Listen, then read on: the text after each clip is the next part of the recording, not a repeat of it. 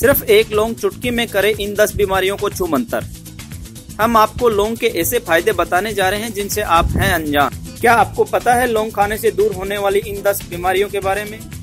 नहीं ना तो यहाँ जानिए। भयंकर खांसी से छुटकारा दिला सकती है एक लौंग? मुँह और श्वास की बदबू को दूर भगाती है लौंग? जुकाम में बंद नाक को खोल देती है लौंग। पेट की जलन से राहत दिलाती है लौंग। जोड़ों और दांतों के दर्द से निजात दिलाता है लौंग का तेल। घबराहट को दूर भगाती है लौंग। हेजे की बीमारी में भी बेहद लाभदायक है लौंग का तेल। काजल के तौर पर आँखों में लगाने से दूर हो जाता है रतौंदी रोग।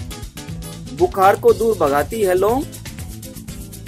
वोमिटिंग का रामबाण इलाज है लौंग।